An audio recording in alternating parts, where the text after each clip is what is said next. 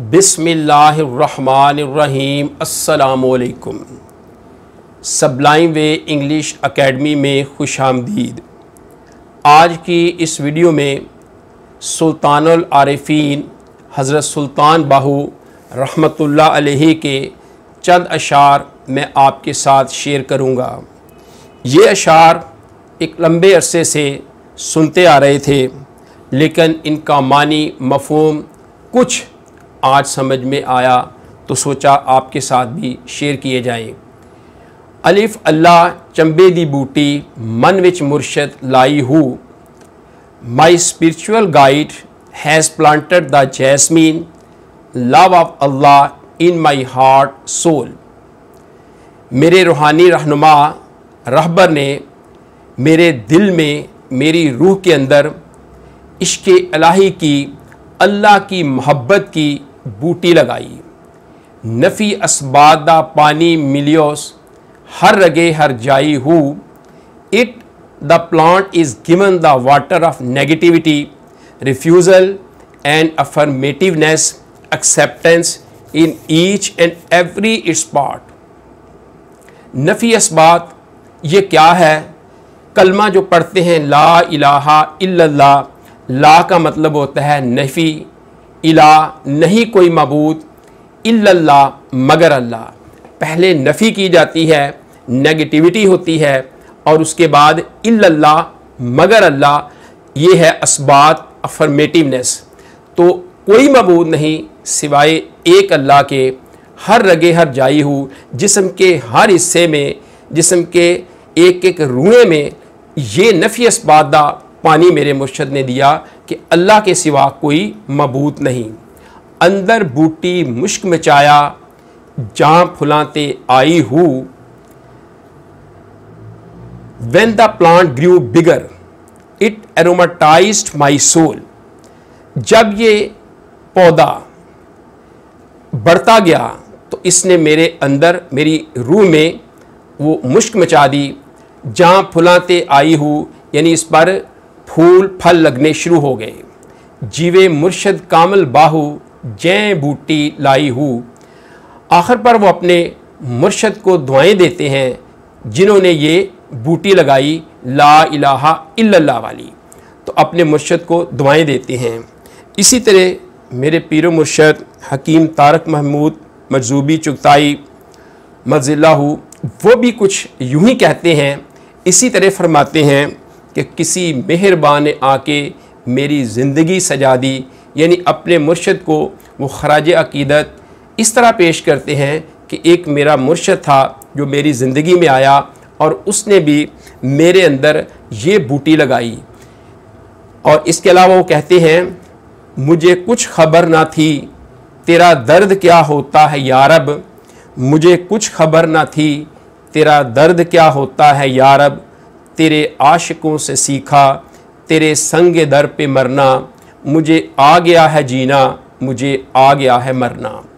ये नफ़ी इसबात का जो कलमा है, ये अल्लाह की मोहब्बत की जो बूटी है, शमा है, ये जब अंदर रोशन होती है, इसके क्या नज़ारे हैं, इसमें क्या सरूर है, इसमें क्या लज्जत है, ये तो कोई हज़रत बिलाल हबशी रज़ी अल्लाह तहों से पूछे कि जिनका मालिक उन पर बहुत जुल्म सितम करता था, तपती रेत पर लटा देता था, सीने पर बारी पत्थर रख देता था, रस्सी से बांधकर घसीटा जाता था तो फिर भी एक ही आवाज़ आती थी, आहद आहद आहद, कोई मबूद नहीं है सिवाय एक अल्लाह के, आहद आहद, ये आवाज़ें आती थी।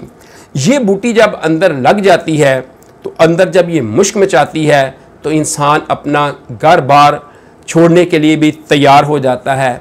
जिस तरह आपके साहबा कराम ने इसी दीन के लिए, इसी बूटी के लिए अपना घर बार छोड़ा और हिजरत की, आप सल्लल्लाहु अलैहि वसल्लम ने भी इसके लिए ताह में पत्थर खाए और क्या ही इस वो कलमे में लज्जत है, क्या ही सुरूर है।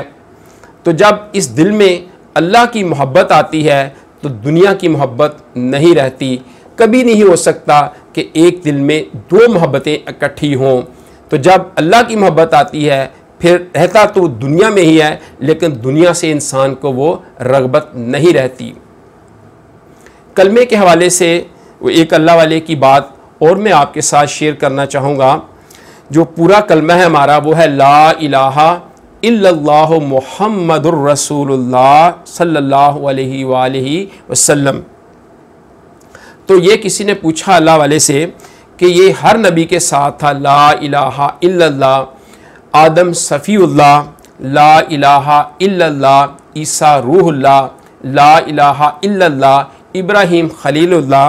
तो ये जो अब आया है, ला इलाहा इल्लल्लाह मुहम्मद रसूलुल्लाह तो मोहम्मद रसूलुल्लाह क्या है?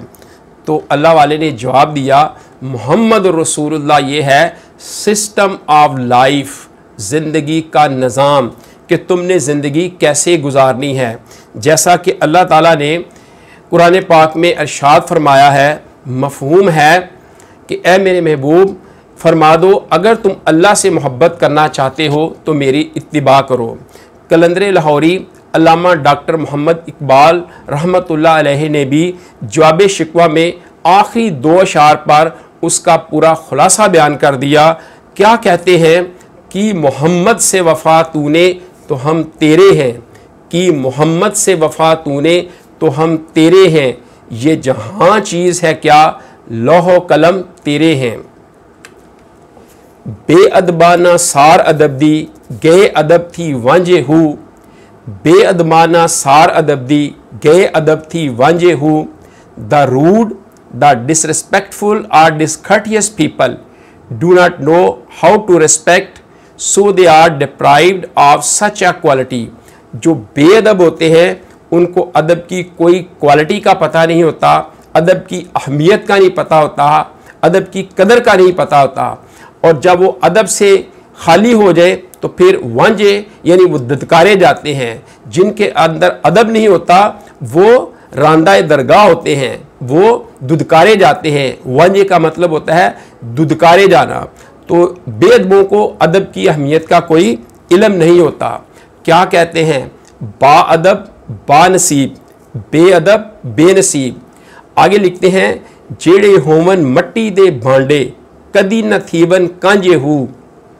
Those who are like earthen pots वो जो मट्टी के बर्तन होते हैं कैनट लाइक ग्लास वेसल्स तो वो कभी शीशे के बर्तन नहीं बन सकते।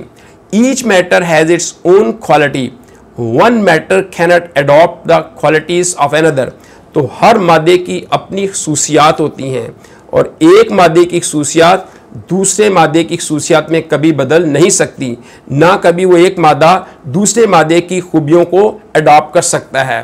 तो आप कहते हैं, जेड़े होवन मट्टी दे बांडे, कदी ना थीवन कांजे हो तो जो मट्टी के बर्तन होते हैं, वो कभी भी शीशे के बर्तनों में तब्दील नहीं हो सकते। जेड़े मुड कदीम दे खेड़े, होवन कदी ना रांझे हो those who Khede greedy covetous people covetous person जो खेड़े हैं, वो कहते हैं, लालची हवस प्रस्त इंसानों को।